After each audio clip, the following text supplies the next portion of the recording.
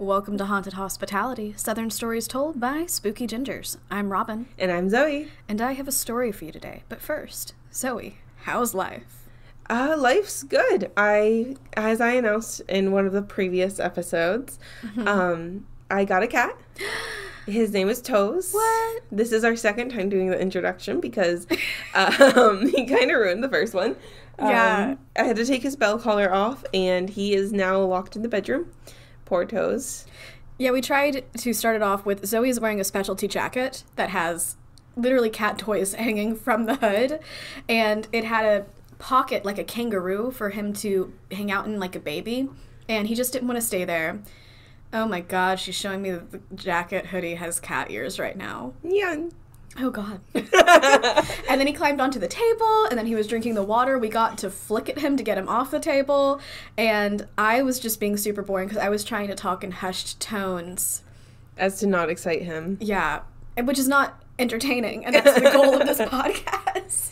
Yeah. He's Yeah. a little booger. I mean, he's not even one yet. He got fixed five days before he joined our household. And We I don't share a household. Well, yeah, sorry. I live. I do share a household with somebody else. But so, you and yes. yes. Well, I just we're the only two people here. yes.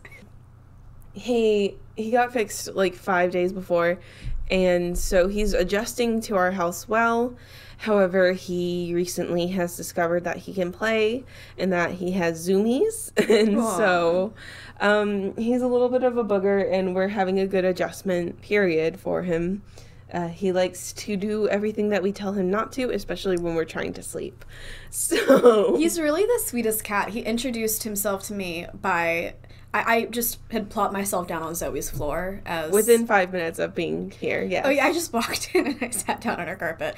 And he came up to me and he just like climbed on top of me and rubbed his face in my face, which I mm-hmm. guess is now his customary introduction as he keeps doing that, except this time he's climbed onto my shoulder, like as I'm standing up, and I've never had a cat willingly do that to me before. and I've had six cats total.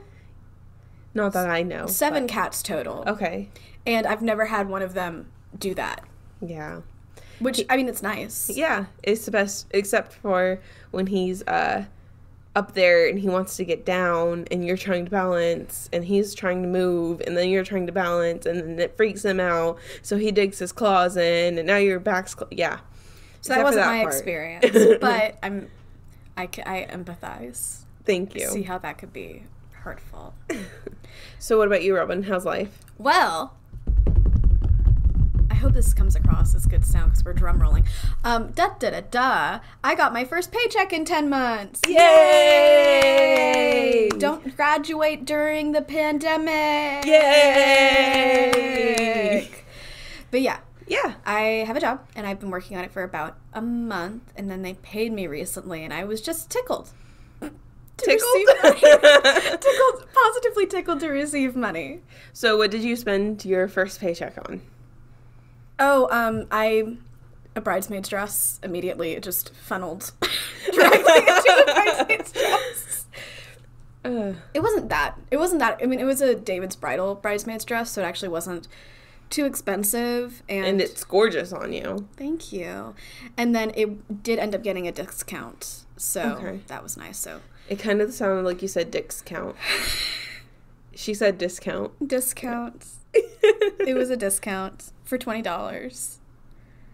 the dress minus twenty dollars to the total of the dress. In total, I paid $115 in change for this dress, which is a pretty good price for a bridesmaid's dress. yes. Yes. The one I was thinking about at a different place that I did not like as much was $240. Ooh. Once I saw that it was $240, I stopped thinking about it. Yep. Yep. That's usually how it goes.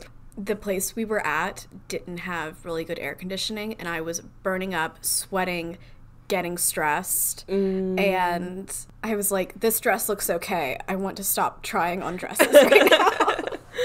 Yeah. Yeah. But then we went to David's bridal and everything turned out fine.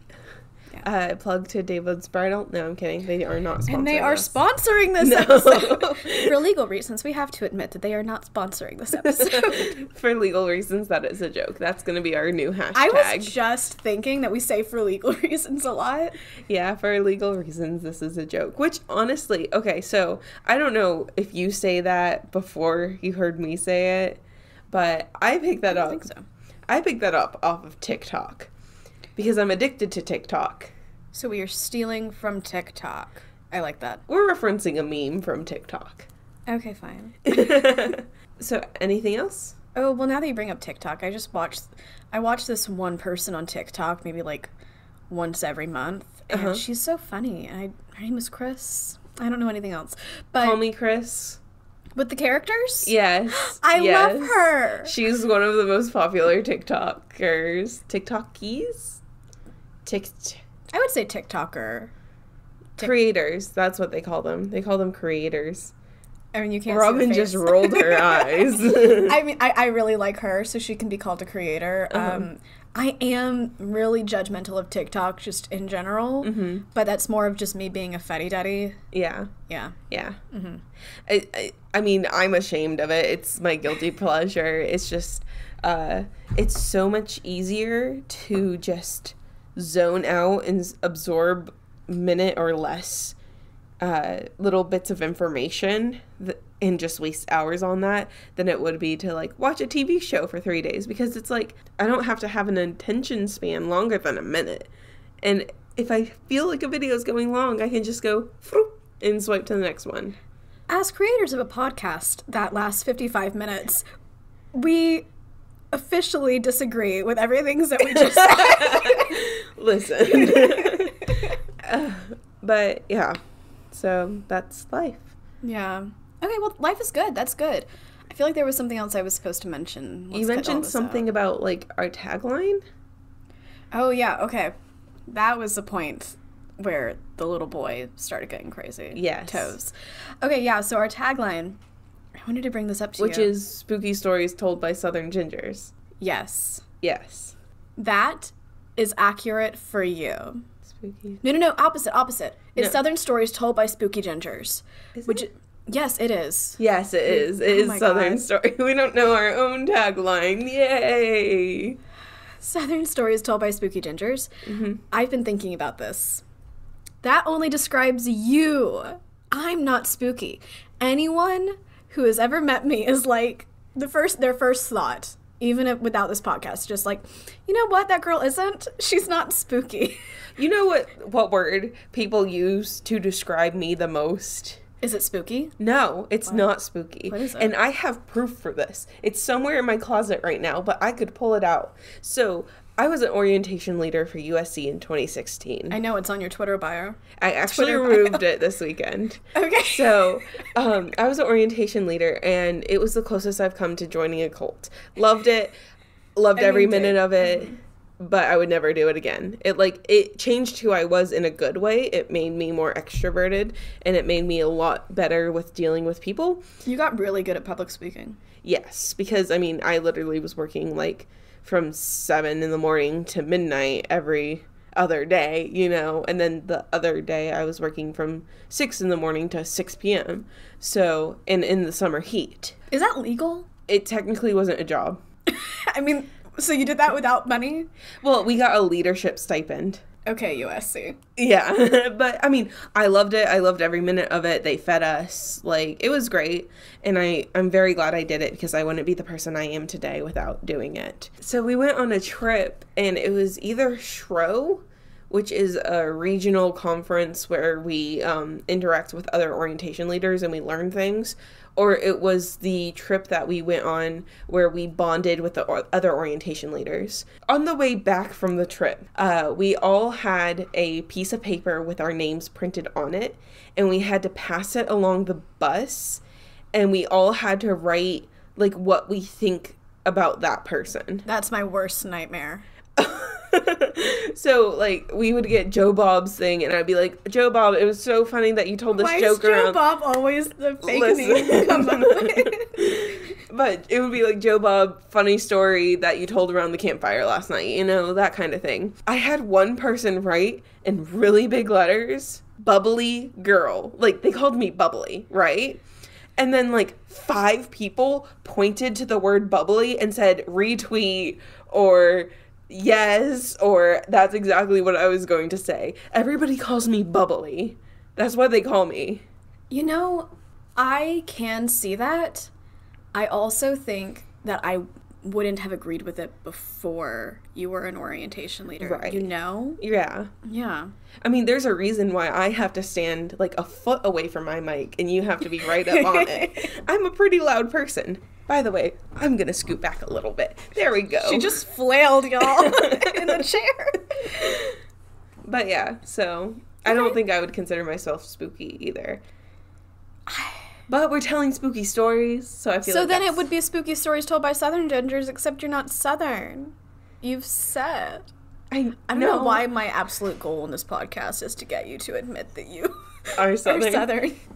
You know, I mean, that's a very personal thing, and I'm going to respect that and stay on my side of the table. as opposed to fighting me, as opposed to throwing My hands. side, I, I was merging the metaphorical with the physical. Oh, okay. I'm not going to throw hands over your regionality. Regionality. Regional. This isn't interesting. No. Okay. Before we get into the story, let's do the something southern. So we decided to go ahead with a kind of game show theme for this episode and next episode. Yeah. So in this episode, since Robin is telling the story, I will be the one quizzing her. I have 10 cities in front of me. Some of them are real cities, Okay. some of them are fake cities. Okay. You need 10 points to pass. So I need to get all 10 correct. No, Oh my god. because I will ask you, I will say, This is complicated. here's the city name. mm-hmm. If you get it right, if you say it's true or false, or real or fake, if you get it right, you get two points. Or you can ask for the state. If you ask what states it is in, and I uh, tell you what state it's in, and you get it right, you get one point. Okay, so I'm assuming these are all states that we've decided are in the South and our official Yes. Southern map. Yes. Okay. Yeah. I really want to do amazing at this, but also now that I said that, I worry I'm not. So are you ready for the first? Yeah, I'm ready. Our first city She's tickled, y'all. is Booger Town. It exists. Two points for Robin. it is in North Carolina. Fun fact, that's my least favorite word. Not North Carolina. Booger. yeah, I don't even uh So the second city, Glimmer. true. Er, Ah. no, it is not true. I said t- Glimmer, Texas. Texas was the fake state I decided. Okay. Texas doesn't exist. Yes, Texas does not exist. Okay. Uh, don't listen to episode four. Okay. uh, number 3 mm-hmm. Scratch Ankle. False. Er, Ah. Scratch Ankle, Alabama is a very real city. oh my god. Okay. Okay. The number four, the city of North. It's true. It's in South Carolina. Boo boo. I'm gonna give you three points for Oh yeah, I didn't know that was a possibility. Neither did I. Okay. All right. Uh, number five, the city of Lacrosse. I think it does exist, but yeah, it, it exists. Very true. It is in Florida. So another Okay, two points for you. You are currently at seven points. We So will I'm really continue even if you. if you- Yeah. yeah, yeah, yeah. We'll get all ten in. Then number six, Tacoville. No. Good job. Another two points. Okay, I was when you made that face, I was really worried that there was a Taco Bell town. I I decided that Tacoville would be in Virginia if it existed. Wait. Oh, you said Tacoville? Yeah, Tacoville. I thought you said Taco Bell, and I was like, "There's no way there's a town called Taco Bell, and I don't know about it already." Uh, I probably okay. would have said yes. Okay, number seven. The town or city of hot coffee. well, now I'm wondering if you were just making up food things. Um, no, it doesn't exist. Very incorrect. Oh, it does. Hot Coffee, Mississippi is a real city. Is it one word? No, but it's two words. Oh my god. okay, number eight. Stamps. It's true. It exists. Yes, it's in the city that is AR. Air. Arkansas. Arkansas. And you just called Arkansas a city. It's in the state that is AR. Listen, I'm You know we good. cover Arkansas. Yes, that's why it's in here. We appreciate you, Arkansasians. Actually, nobody from Arkansas Excuse listens me, to us. I am confusion. Why is it Kansas but not Arkansas? Oh yeah. Isn't it legal in Arkansas to pronounce it as Arkansas? legal or illegal? Illegal to pronounce it as Arkansas. You know, I don't know. I know very little about Arkansas because we haven't done a story about Arkansas yet. Number nine, the city of Yeti, What state? Tennessee. No. Correct. Okay, good. You get one point for that. Because I think the Yeti isn't in this area. No, but I was going off the brand of water bottles. Honestly. Well, yeah, but they get their name from the mythological creature, the Yeti.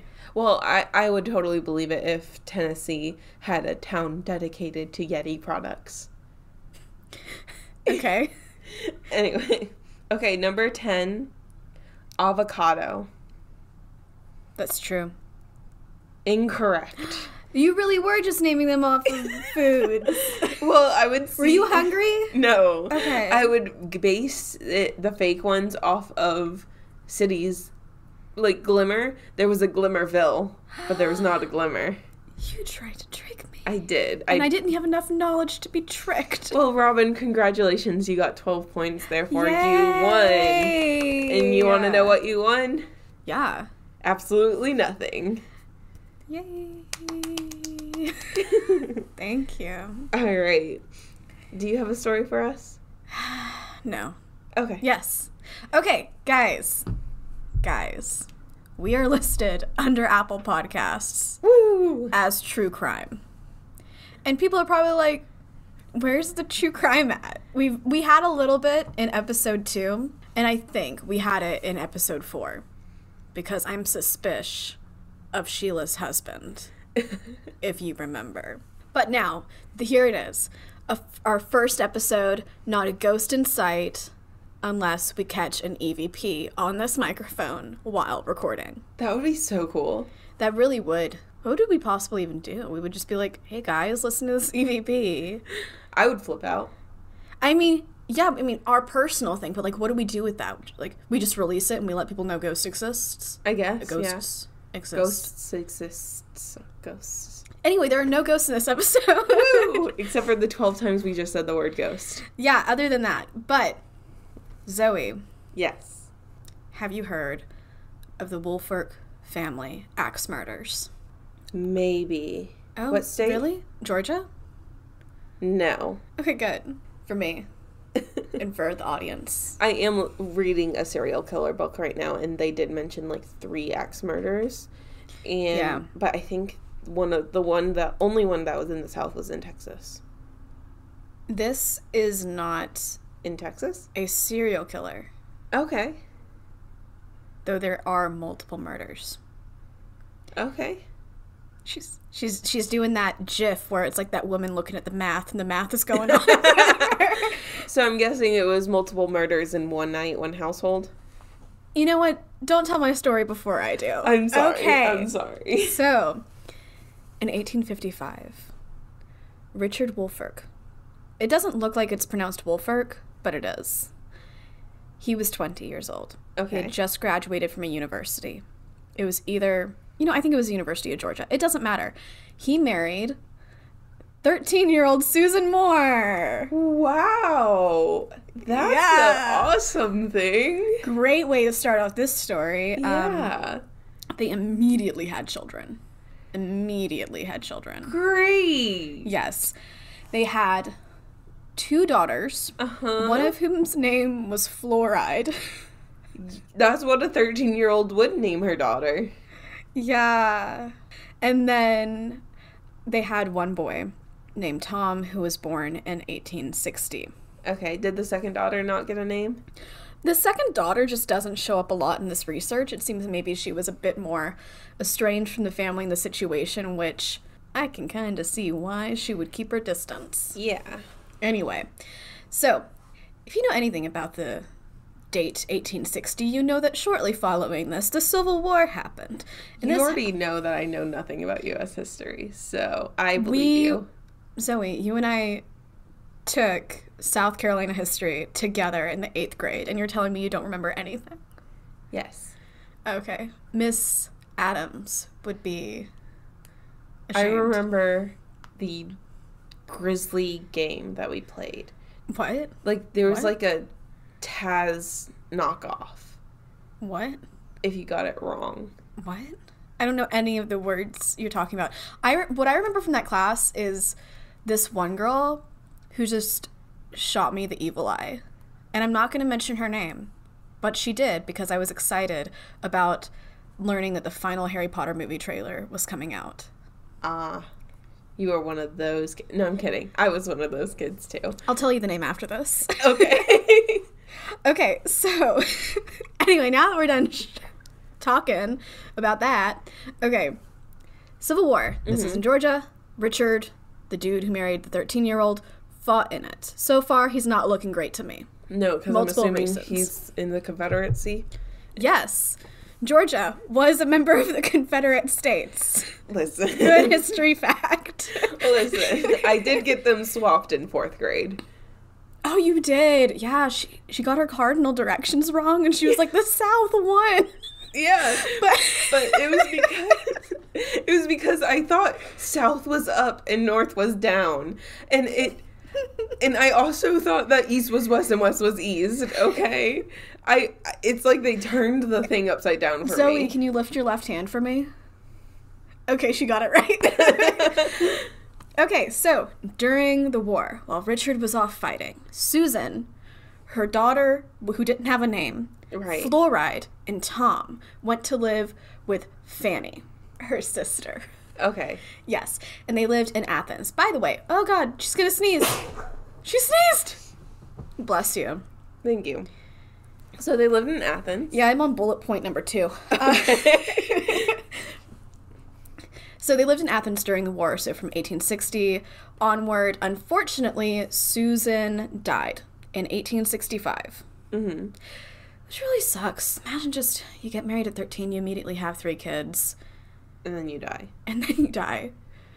Anyway, I just felt bad about that. Um, Richard remarried about two years after that Okay. in 1867. He is 11 years older than this wife, but she is legal and it's a lot less gross because she's 21 and he's 32. And you're like, okay, for the time, all right, fine. Yeah. Her name is Maddie. Hold on. Does Richard have his three kids, or did those kids stay with Fanny? Huh, the kids stayed with Fanny. Okay. He married Maddie. Maddie and him had a son named Richard Jr. And then Richard Sr. was like, all right, kids, come back to Macon. By the way, they're from Macon. Woo! Yes. I used to live there. Yeah, you did. Yeah, well, I mean, people listening don't necessarily know that. Yeah. Okay.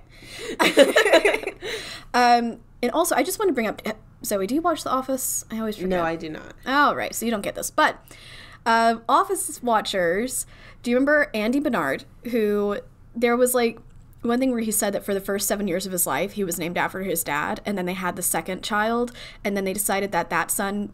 Uh, should be the one to carry on the father's legacy, changed Andy's name to Andy, which they got out of a baby book, and made that kid the junior. This situation reminds me of it because it's like, okay, you got unnamed kid, fluoride, Tom, and then you got Richard Jr. Right. from another marriage. Yeah.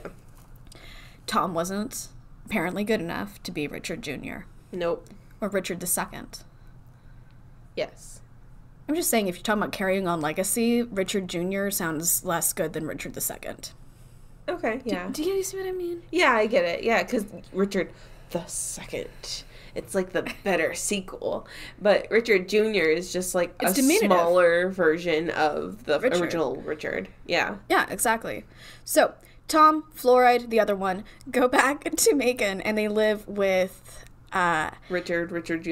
and, and Maddie. Maddie. Yes, and the daughters are like, okay, Maddie is our stepmom. We're going to respect her. We're going to like her. She's part of our family. And and Tom was like, no, I don't like her. I don't want to be around her. I, this is gonna. I'm gonna make this difficult. We're gonna just have a difficult relationship. Okay, and he didn't. Growing up, he didn't always live with Maddie and Richard but he kind of did a lot of time but sometimes he would live go back and live with fanny in athens sometimes like when his sisters because they were older when they got up and got married and stuff sometimes he would live with them instead and he just it seems looking at it like it's maybe one of those situations where it's like the dad went and got a new family so he's kind of he's there but he's not completely there so he's like half a part of that family you know what i mean Yeah.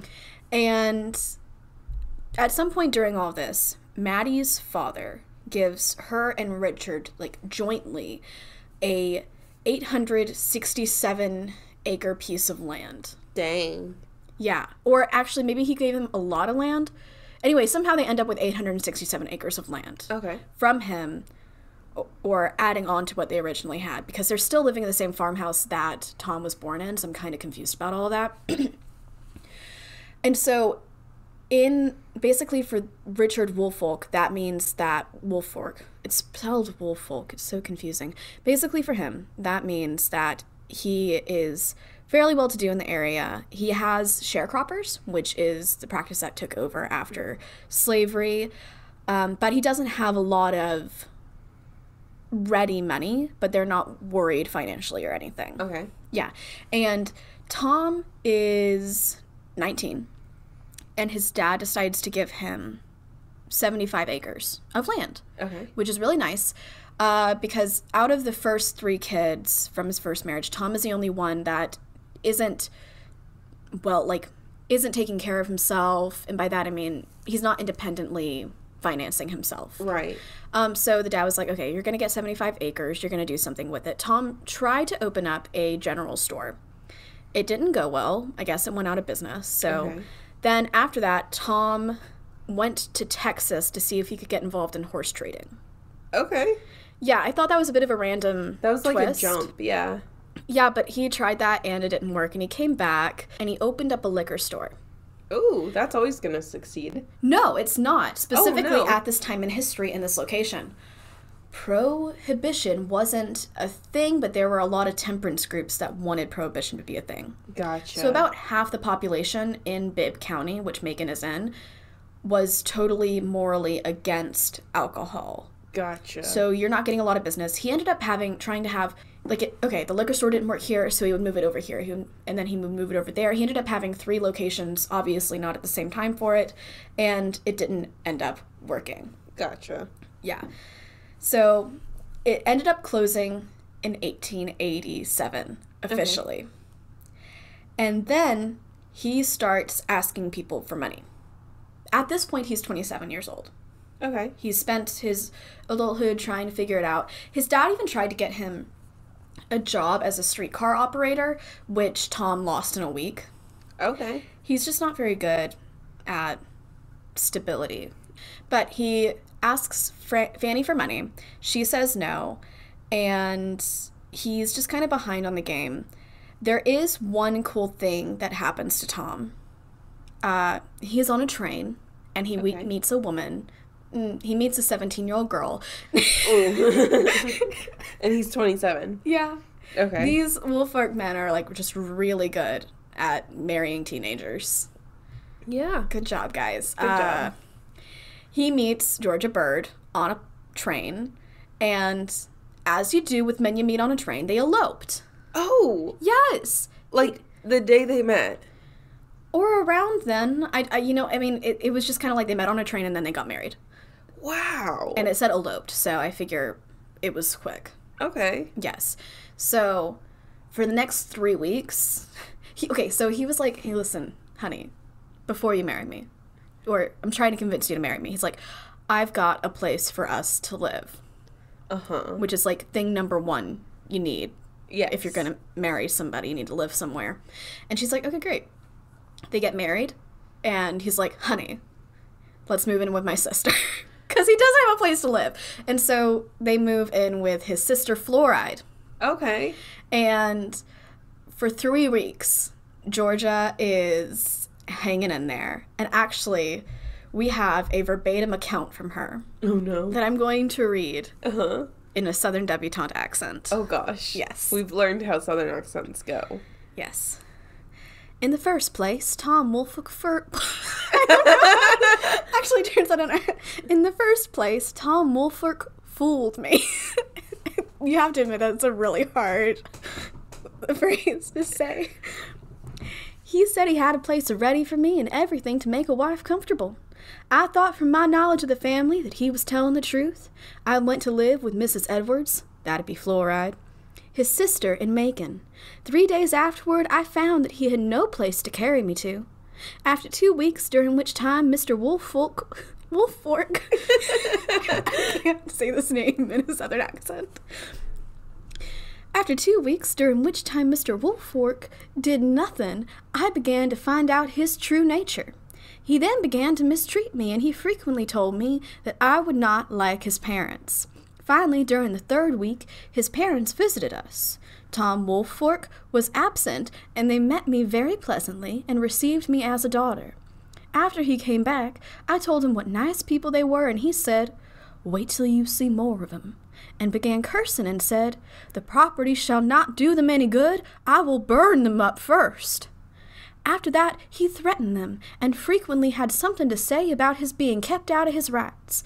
I had then ceased to have anything to do with him, and I could not stand his evil ways. Finally, my mother came and brought me home. After three weeks' stay, I was dissatisfied. The next mor- I was dissatisfied the next morning after I married him and would have come home had I had an opportunity. This evening, Mrs. Edwards, his sister, told me she knew he had mistreated herself and me both badly, and that she was afraid he would kill me. That's And- what happens when you marry somebody you've known for less than three days. I mean, okay. I feel very bad for Georgia. Right. I'm okay, you're 17 cuz the thing is, okay, we're going back to the 1800s. Okay. Now, if you hear that, okay, the girl who's a senior in your high school met a guy on a train who was 27 and they got married, that's really weird. But maybe then it was a little bit more normal Maybe. because people got married really quickly. I feel like there was an an official like courtship thing that they had to go through though. Like you have to meet the parents and you have to do this and it has to be arranged. so, based on the timeline that I know of, there wasn't time for that. Okay. Yeah. Not saying she was pregnant. She wasn't pregnant. Not yeah, that. yeah, yeah. Um, but certain things happen afterward, and certain people said she was married three months to him before certain things happened. So, uh, I don't think there was a huge courtship period. Yeah. But, But I feel like there should have been. well, yes. Okay, 17 year olds don't marry 27 year old men you meet on well, a I train. mean, even for that time, I feel like generally that's what they do. So I feel like she's there. Like it's a little bizarre, and I feel like other people would have found it bizarre if she had married him like that. Okay, that's a good point. I was really impressed with her mom Yeah. for her- coming and taking her back. Were they able to get a divorce? That comes up later. Okay. Okay, yeah, yeah. I was really struck by the last sentence where she said that Fluoride, his sister, said, like, on the evening that she was going to leave. I think that, because she says, this evening, Mrs. Edwards said Right. this. And I think that she's talking about when her mom came and got her. Mm-hmm. Mrs. She said that Fluoride said that Tom had mistreated them both badly and that she was afraid that Tom would kill Georgia. To me, that screams of physical abuse. Right. And I mean, she says that he abuses me badly. He yes. tre- mistreats her badly. Well, she, she didn't didn't- say the word abuse. Then, so she went back to stay with her parents, and Tom tried to keep in touch with her. okay. He would go and write her love letters. Uh huh. Um, but they were bizarre love letters, so they were written in really bad handwriting. And they were really hard to understand. Like even without the handwriting, it's just like maybe he wasn't the most literate. Okay. Um, but he would write her love letters, but sometimes it would they would be really weird because he would be quoting prayers. And like so there's this one in particular where he just quoted this one prayer completely. That was the only letter and he was like that was the only part of the letter except for him telling her to say that prayer daily, which is Uh-huh. Just a weird thing to send your estranged wife Yeah. maybe you're trying to get back.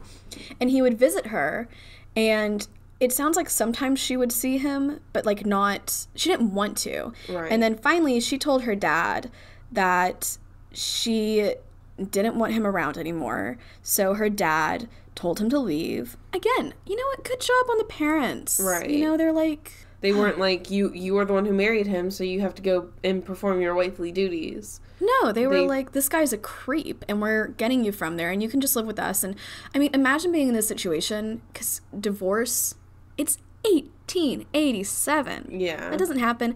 And I mean, you're just stuck.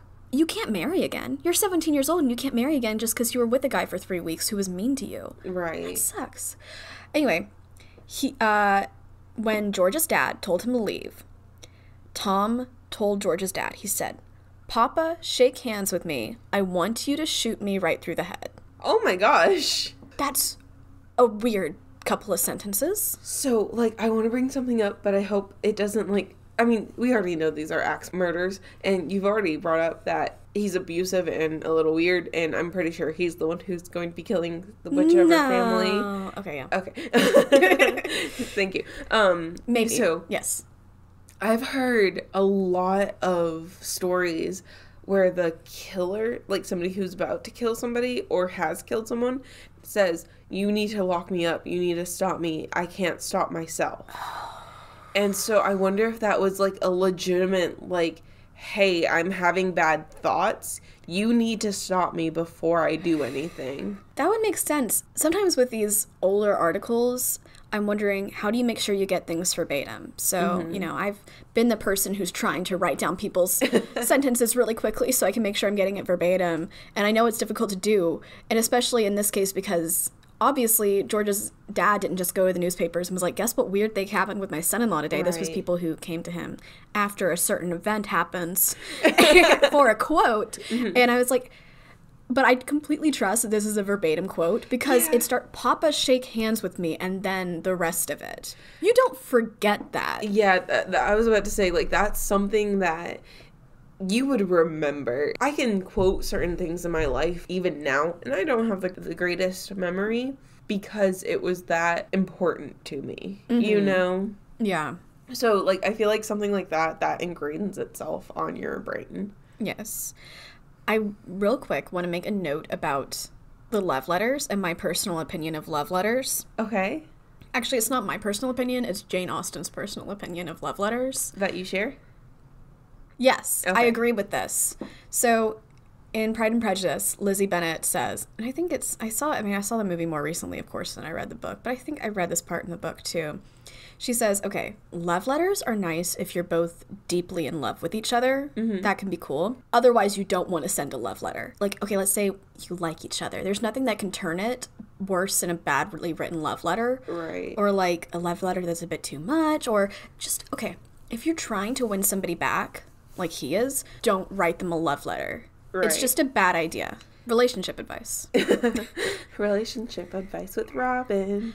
Ooh i like it we should do that again okay, Anyway, cool. yeah. so just don't send love letters unless you're actually completely in love with a person because the thing is you don't write you might write well but you don't necessarily write well Yeah. So, it's June 1887. Tom is not doing well.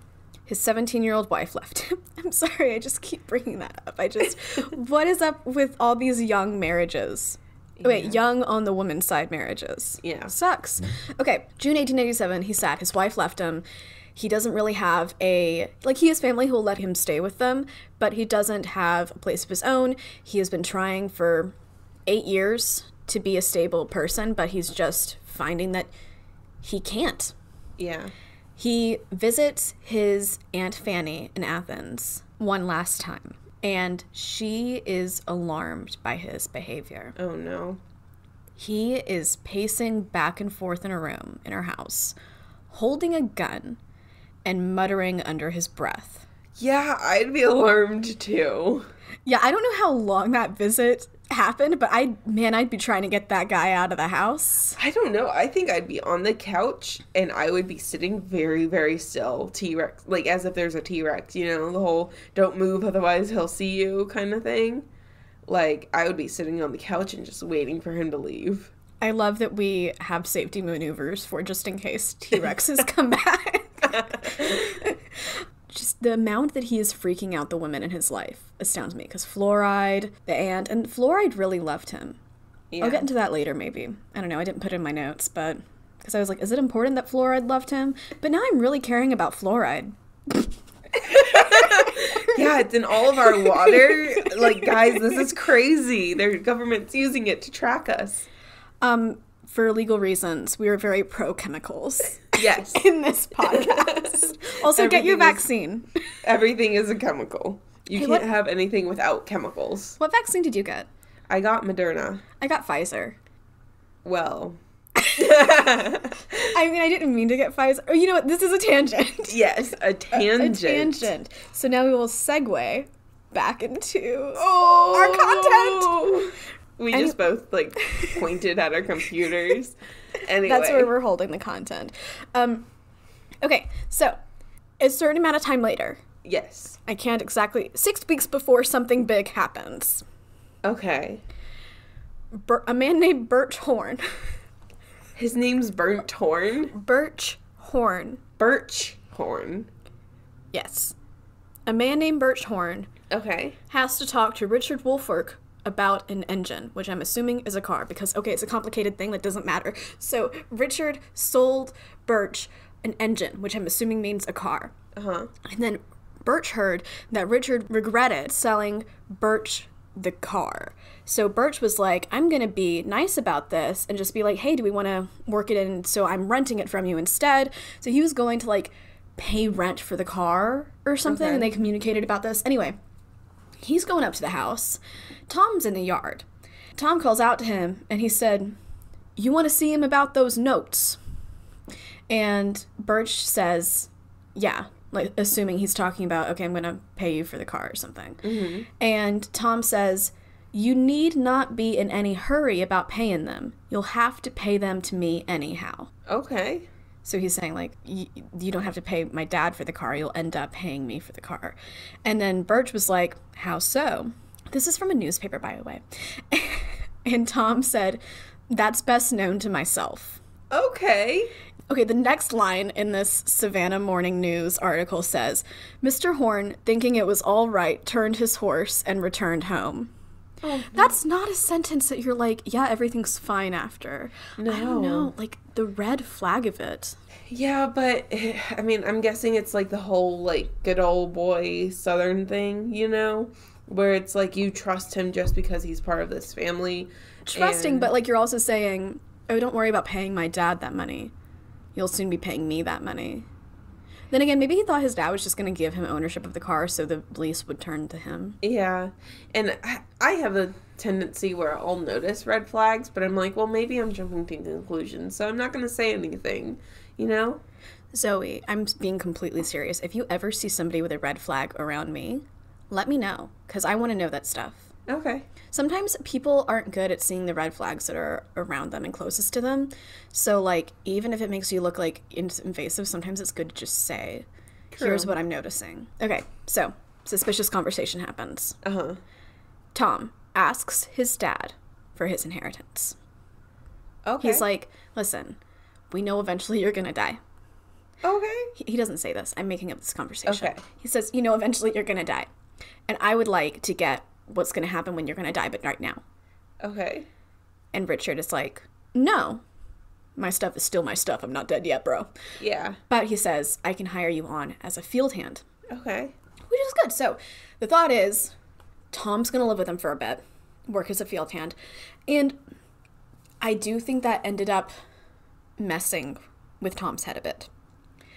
Because here you are, and you're this guy's oldest son, and you're you're hired on as the help, which like mm-hmm.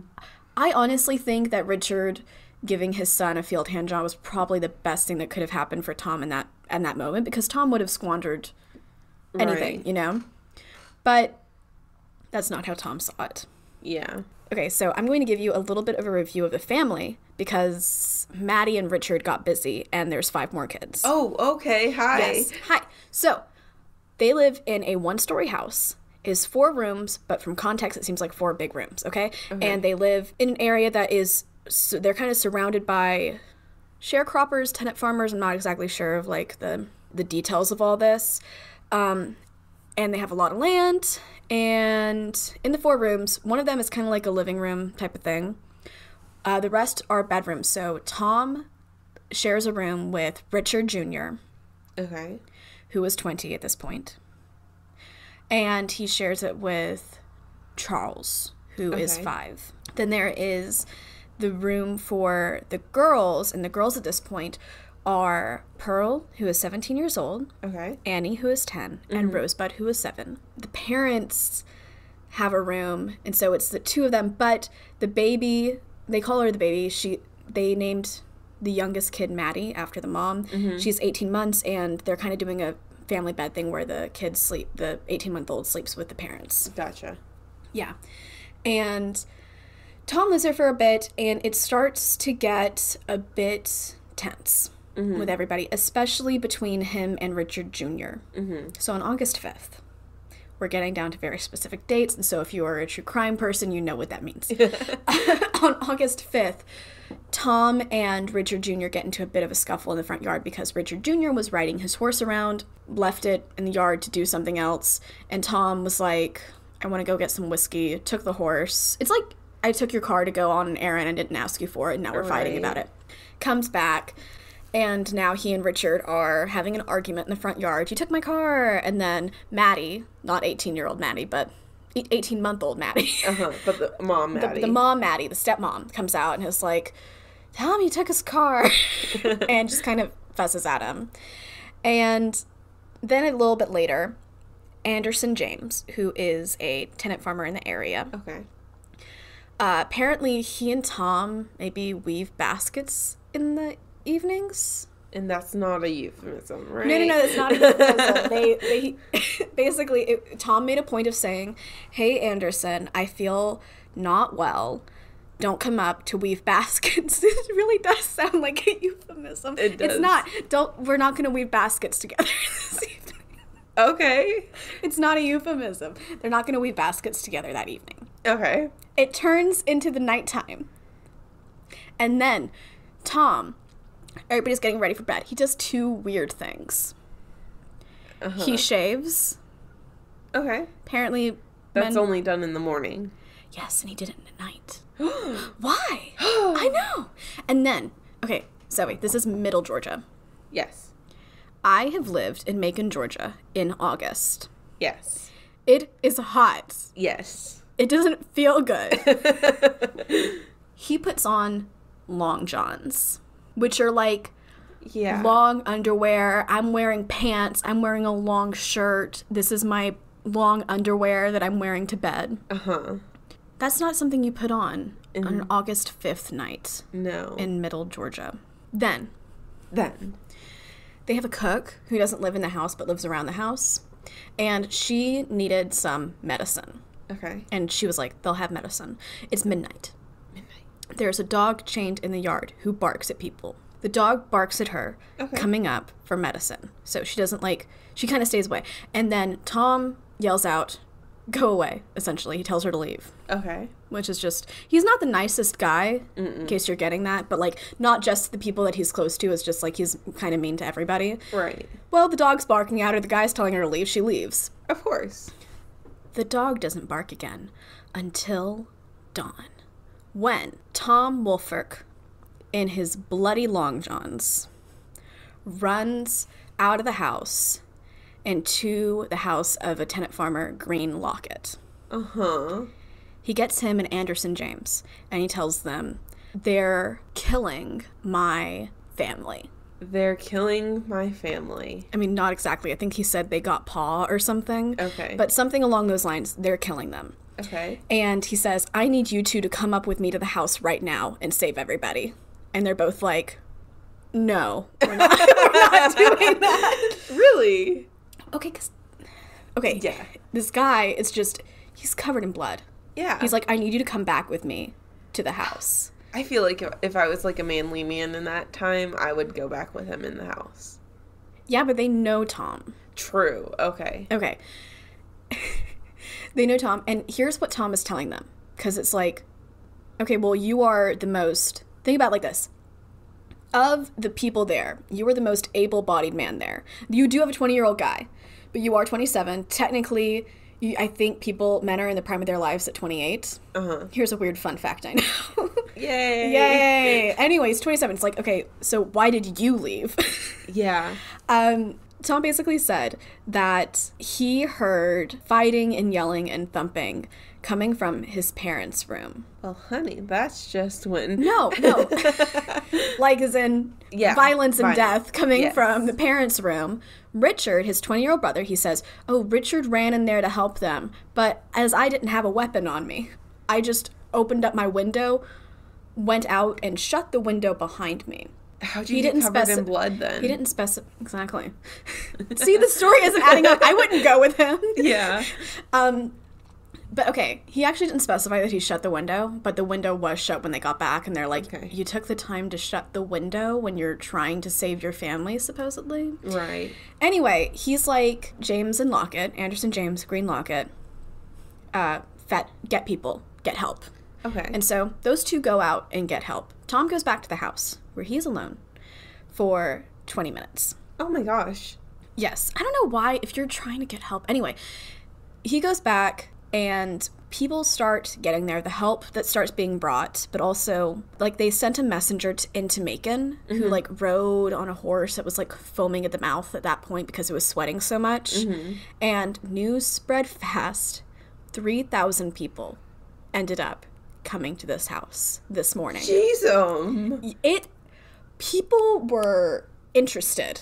You know, I've heard a lot about that, like in murders that happen in that area, like that time period, especially in like rural areas. You just go to it. You just just, go go. you see what's up. There was one story I heard, I forget exactly where. If you know what I'm talking about, please send us an email to oh, I Haunted thought you Hosp- meant me. I was like, I know nothing. if you know what we're talking about, please send us an email to hauntedhospitalitypodcast at gmail.com. But anyway, so basically, like, the people went and they wanted to take a souvenir back home. And so they just grabbed whatever they could. Mm-hmm. And by the time, like, everything was done, even the bricks to the house were gone. Because people were just taking bricks. What? Okay, there's no reports of that happening here, Okay. but it did get really interesting with this amount of people. So, when people start to arrive, and I'm not talking about necessarily the 3,000 at this point, but like the people who were sent to help, Tom is cleaned up. He is in different clothes. Why would you do that if your family's just been murdered? You know, I don't know if he gives an explanation to that. Um, they cannot find his bloody long johns. And the unfortunate thing for Tom is that he didn't exactly clean up well enough. So he goes out to greet people. People are getting a good look at him. Mm-hmm. This guy who's already kind of basically the suspicious guy of the area. Mm-hmm. There's blood inside his ear. You can see it if you're looking close. And there's blood on his leg. Mm-hmm. So he didn't get everything. But people have already seen him covered with it, so. Only a couple people have seen him covered in it. True. Okay. Yeah. Anyway, you're making me second guess. I'm sorry. No, no, no. You should. This is we're getting to the truth of it. You know. Uh huh. We're getting to the truth of things. Let's second guess things. Um. Now, people who get there go into the house. This includes a photographer, which is like really interesting because I read a part of this. I guess photography was still like kind of rare at that point. Mm-hmm. So the writer in the Savannah Morning News was like, and he forever took what was in that house and put it upon a glass plate forever. Just talking about how cool the fact of photography is. Like, uh-huh. whoa, guy took pictures. Ooh. Yeah, anyway, they went into the house, and I'm going to t- tell you what was seen. Okay, I read it in graphic detail. I'm not going to say it in exactly graphic detail, but I do want you to get the general picture. Mm-hmm. There is blood on the ceiling, mm-hmm. blood on the walls, blood pooling on the floor. There are bodies in two of the bedrooms. Okay. The first bedroom, the parents' room, has uh, both parents mm-hmm. killed. It has the baby killed. Mm-hmm. It has Richard Jr., the 20 year old, Okay. Pearl, the 17 year old, and Charles, the 5 year old. All killed, and those three are on the floor. I'm guessing by an axe. Yeah, it was an axe. Sorry. Yeah, there. Yeah. I'm getting to that in the second. Oh, okay, okay. Anyway, I have a plan. I'm sorry. I have a plan. uh, in the second bedroom, Maddie's aunt was unfortunately visiting at the exact wrong time. Mm. So she's 80. She's dead in the bed. She was killed by an axe too. Uh, Rosebud is dead, mm-hmm. and then Annie is, who's a 10 year old, is also dead, but she is dead kneeling by the window. She had been trying to get it open so she could run away. Yeah, yeah. And a short handled axe was found dropped on the floor by the front door inside. Okay. And just to, I don't know, I read these descriptions. Okay, you are murdering nine people because nine people were murdered that night. You're already not humane in doing it, obviously. Mm-hmm. But the descriptions, it makes it very clear he went for the head mm-hmm. rather than for the neck. So I think, okay, if you want to kill people and you want to kill them just super quickly, mm-hmm. go for the neck Yeah. and then they don't suffer. But there were mentions of heads bashed. in. Like it was the head, which makes me think there was a lot of anger and it was very malicious. right. Yeah. So everybody was struck more than once. I believe so. Um, Okay. You know, I didn't. I kind of. I, I read it and, but I didn't linger over it to make sure that I got everything. You know, just because it was so, just so graphic. Mm-hmm. There was one set of bloody footprints in the house. There were no bloody footprints found in the boys' bedroom because neither of the boys. So the theory is that three of the children, Richard and Pearl and Charles, heard what was going on in the parents' room because that's where everything started. Went in to try to stop it, and then were attacked as they entered the room, killed immediately, and then put in kind of like one by one or something as they came in. Right. Yeah, they didn't find any bloody footprints in the boys' bedroom, but they did find a red stain on the floor. Tom says it was a thing called Spanish fly, given to him as like by his friends as a prank. So I looked at what Spanish fly is, and it turns out it's just like an aphrodisiac. Maybe you would get at the apothecary or something. Okay. I do you want to hear my theory, or do you want me to like wait until all this is done? To Tell me your theory. Tell okay. me your theory. I think that the bloody footprints are from before he went to get help. He was walking through, wasn't paying attention to where he was walking, got them in the house. Mm-hmm. And then when he went out to get help, probably if you're going across grass before dawn and stuff and a long enough ways away, my guess is the blood came off into the grass. Mm-hmm. And so when he came back, he wasn't trailing blood, but he probably took off the bloody long johns in his room, put them on the floor, and my guess is that is the red stain. Okay. He's looking super suspicious right now in front of about 3,000 people. I'd say yeah, yeah. And the coroner calls a thing called the coroner's jury, which I did not know could exist. Do you know what the coroner's jury is? No. It's actually exactly what it sounds like, Okay. where something, a coroner comes up and he's like, this is incredibly suspicious. He picks people out of the crowd. Now, I believe they are all white men. He picks them out of the crowd, and uh, not the crowd, obviously, but the people he picks Right. are all white men. And he says, um, we need to figure out what happened so we can arrest. So it's not a jury as in we are sentencing you to Jail or death or whatever. well, you are kind of sen- sentencing to jail in terms of we're going to arrest this person, but we need to figure out what's happening.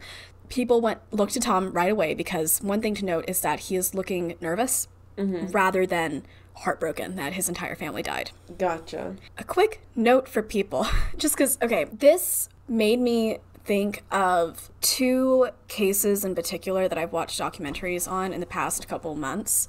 It made me think of Chris Watts, who murdered his wife and two daughters, and then it made me think of Scott Peterson, who was convicted of killing his wife, Laci Peterson. Okay. The reason I thought of both of them is because they received a lot of media attention for not looking so concerned and worried and scared Gotcha. and sad. Yeah. Let's say you're innocent. Okay, you didn't do anything, but there's a lot of cameras in front of you. And I feel like a lot of people want to seem stoic. Right. Don't seem stoic. Let out your emotions. Be Yeah. like, I'm really sad about this. This sucks. I'm scared. Let people know that you're feeling this way because otherwise, you look so suspicious. Right. And I mean, there are some people who immediately, like, genuinely, like, go into shutdown mode, but that's different from emotion. Like, they go into the basically a zombie mode, and that I feel like that's different and noticeably different than. But you're just not they acting don't care. nervous. Yeah. You're not acting fidgety. Okay, back to Tom. okay, everything is pointing to him because he is looking suspicious and his story is not adding up. For example, why would he shut the window if you're running to get help for your family and the intruders are already inside? Right. It's like you don't have to worry about them coming in again. You know? Yeah.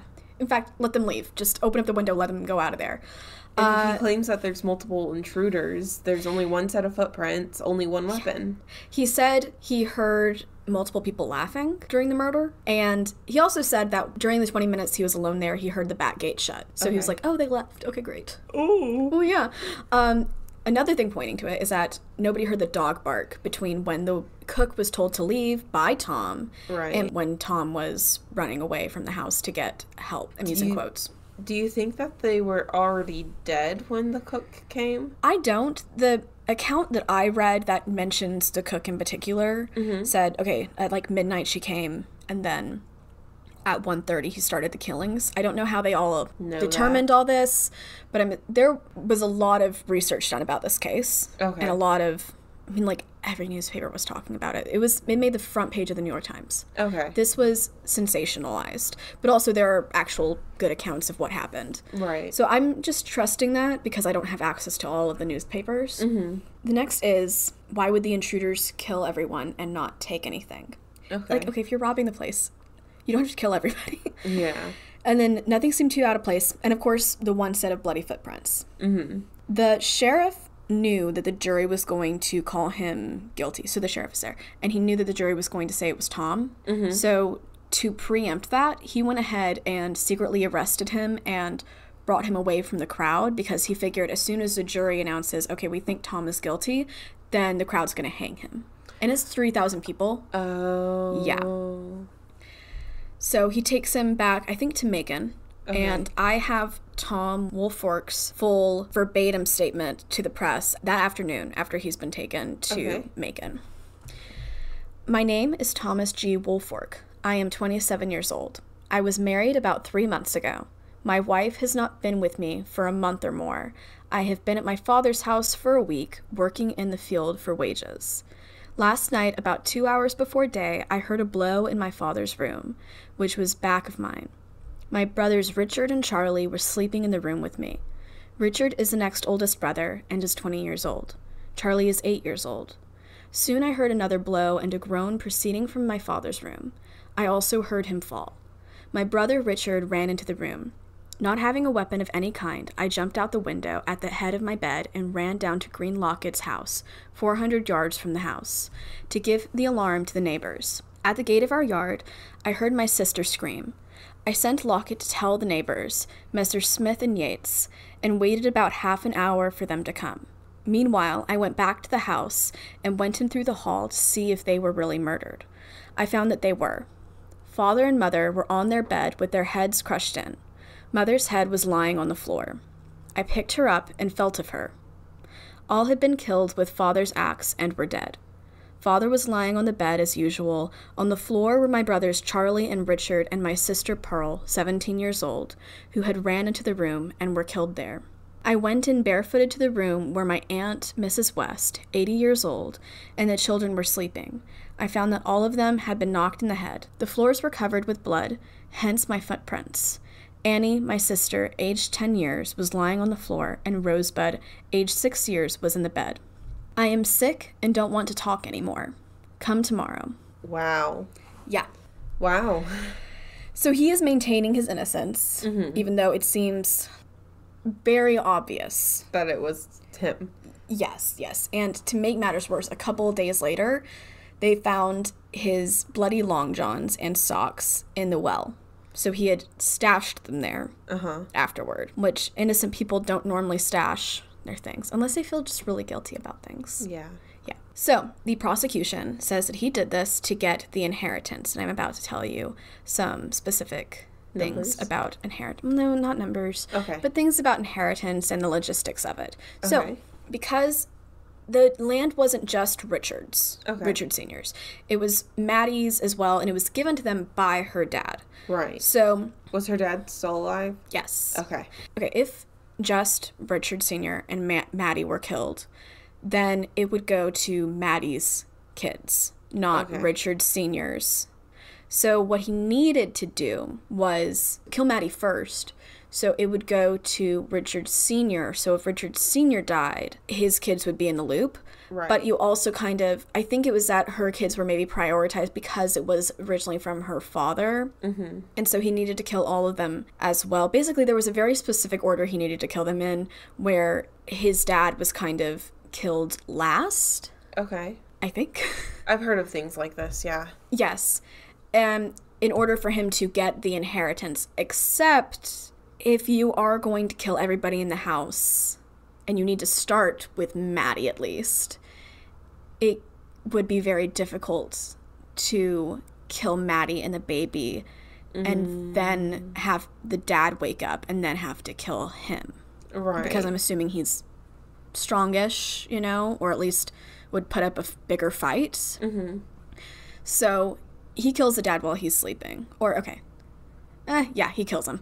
I, I wanted to, like, see if- allegedly. allegedly, but no, he he kills the dad when the dad is sleeping, and then goes for Maddie, and then the baby, and then the three older siblings walk walk in or run in or whatever. Actually, I feel really bad about Charles, who's 5 and ran into because you know he probably followed his brother in, and yeah. anyway. So they basically said he wanted the inheritance because there was a lot of people being like, yeah, he was down on luck with money, and he needed money, and he kept talking about money. Right. The defense tried a couple of tactics to say he didn't do this. The first is that he loved his parents. But he loved his parents. He would never do it. He loved Maddie. But then they had a witness whose last name was Caldwell come up and be like, "No, I've heard him talking bad about Maddie. He didn't really like Maddie at all." Yeah. So that that one was kind of shot. Then they tried to blame a few different black men for the crime.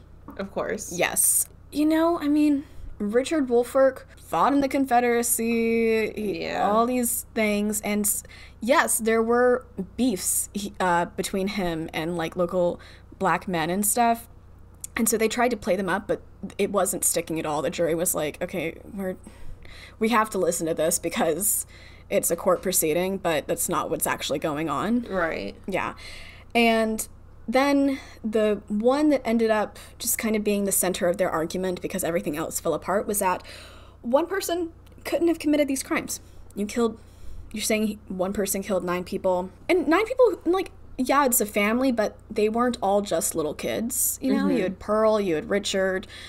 And I mean, to be honest, that would probably be the one that's closest to telling me that he didn't do it. I think he did it. Very clearly, I think he did it. But it is a lot of people, but if you think about it like sequentially or something with how they laid it out, it kind of makes sense. Right. Oh, by the way, there's evidence that he tried to move the bodies to make it look like he didn't kill his dad first. Okay. Yeah. Yeah. So before the jury sentenced him guilty, there were uh, cries of hang him in the room. Okay. Yeah. Uh, then the jury sentenced him guilty, and then there had to be a retrial because of the hang him cries, because the judge was letting it happen, and they're like, that's not fair. And also, apparently, inadmissible evidence, though I don't know what they're talking about exactly with that. So he has another trial, and they're also saying that he's guilty. Okay. and then it's 1890. yes. Georgia, his wife, Uh huh. uh, divorces him officially because she's like, she probably wanted to make it like as obvious as possible that she's not with him. Right. she's like, I made a mistake three years ago. It was three weeks. I'm out of there. Uh, he hangs in Perry, Georgia, which is near Macon. Okay. And there are 8,000 people. 8,000 thousand people. They had trained specifically bringing these people in. Wow. Yeah. Um, guess what these people, some of them were eating? You're not going to guess. I'm I'm guessing it's not like popcorn or anything like that. No. Um, hmm, let's see. Well, you never told us what they grow on the farm. Oh, What were they eating? Possum sandwiches. Excuse me? were eating possum sandwiches. It, and this was like one of the last uh, public executions in Georgia. okay. I don't know. I wanted to add that in there, but it you seems. bring possum sandwiches. Gather around, kids. Oh my I mean, okay, let's see. You're traveling because you really want to see this guy hang. You hit a possum. You, you cook it up because you don't want to waste food. It really was a different world. It really was a different. Like that's what I'm learning most by doing this podcast. Is like, man, it doesn't make sense. Dang. yeah, the story's not exactly over, though it's very close to being over because lately, and by lately I mean like late 20th century, Okay. there is a push toward looking at another suspect, Simon Cooper, who was a son of sharecroppers uh, in the area Uh-huh. and who was a teenager, and he left shortly after the murders took place. Okay. 10 years later in Sumter, South Carolina, he ended up murdering a family in basically the same way with a short handled axe. Okay. And there was a note that was supposedly found that he put into a diary or something that said that he killed the Woolfolks. Okay. This person wrote a book called Shadow Chasers The Woolfolk Tragedy Revisited. It was Carolyn DeLoach. And she's going through primary documents. That is her method of doing this. And so she finds, I, I believe she found it. I don't know if I believe that it was actually a note, mm-hmm. or I believe that she found evidence of it. But I don't know if that means it actually existed.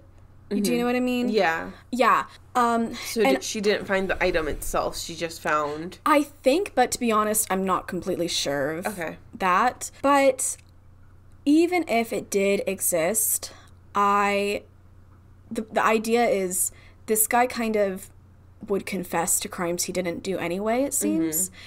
And also you'd be surprised how many people confess to crimes they didn't do. Right. I mean, I guess the point of this is it was in a diary format, which, yeah, okay, I get that. But I really don't think this guy did it. I think that, okay, if you are in the area when this incredibly influential trial happens, Especially if you're kind of young. if you're kind of young, if you're kind of inclined to do this stuff anyway, Yeah. I guess you take notes and you do it. Yeah.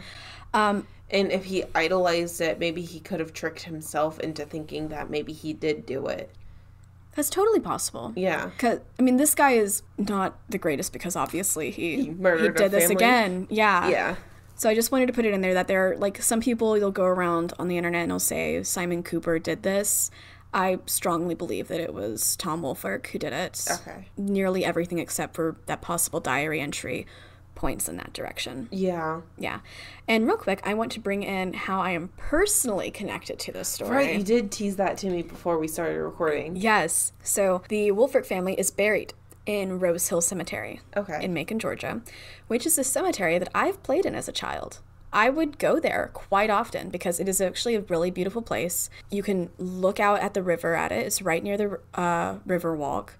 And I would just respectfully play there, hang out there. My parents would bring me there cuz the idea is I've never I never looked at cemeteries as this is a creepy place to not go, mm-hmm. but as in here's a place people are laid to rest. You go here to visit your mm-hmm. dad.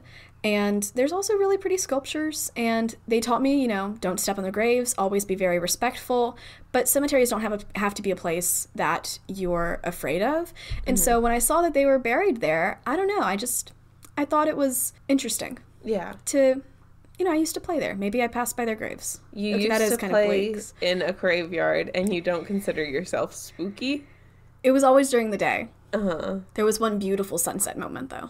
You know, when I was younger, I would hang out with a friend a lot. Um, her name Does is friend exist? Yes. Okay. Her name is Lindsay. I would spend time with her family a lot. And um, they told me that if you passed cemetery or graveyard, because they are different, if you passed one, like in a car, you had to hold your breath while you're passing it because it was disrespectful to breathe when they couldn't breathe. Wow, that's intense. And it wasn't until I was What do you like, do if you visit a graveyard?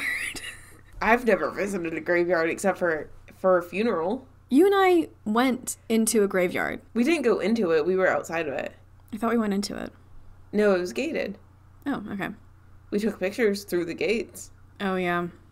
Yeah. You're supposed to be a ghost that shows up in the photos. yeah. We're not just random. Yeah. She told us to take photos. Yeah. But yeah. So we had very different experiences surrounding graveyards. We did. Well, this was a cemetery. It's not connected to a church. Fun fact it's a graveyard if it's connected to a church, it's a cemetery if it's not. And the way you can remember that is because a graveyard, a yard is attached to a house. So it's a graveyard, so it's connected to the church. Okay, cool. Yeah. Well, this turned into a nice fun fact lesson. The more you know. All right. Well, if you enjoyed today's story, please subscribe and review. You can find us on Apple Podcasts, Spotify, Google Podcasts, Stitchers, and basically everywhere else except for Pandora Right. because they don't like us yet. no. And if you have your own spooky story that you'd like to share, if you have a recommendation for a southern story you'd like us to cover, or Give if me you a ghost story. s- southern spooky story, Okay, yeah, cool, cool, cool. Yeah, Just yeah, As long as you have the spooky in Yeah, there. yeah, yeah. yeah. If you have one of those you'd like us to share, or if you have um, any feedback you'd like to give us, please send us an email to hauntedhospitalitypodcast at gmail.com. You can also visit our website, hauntedhospitality.wordpress.com, and you can see all of our show notes and our links to sources there. Yes, and if you are in the Twitter sphere or the Instagram sphere, or now we're on Facebook, follow us, join us, like us, all that. We're on Facebook at Haunted Hospitality mm-hmm. Podcast. Actually, I don't know our specific at name on Facebook. You can find us though; we're there. Yes. And then on Twitter at Haunted Hosts. Yes. And on Instagram at Haunted Hospitality. We hope to see you there. All right. Thank you guys. Stay spooky.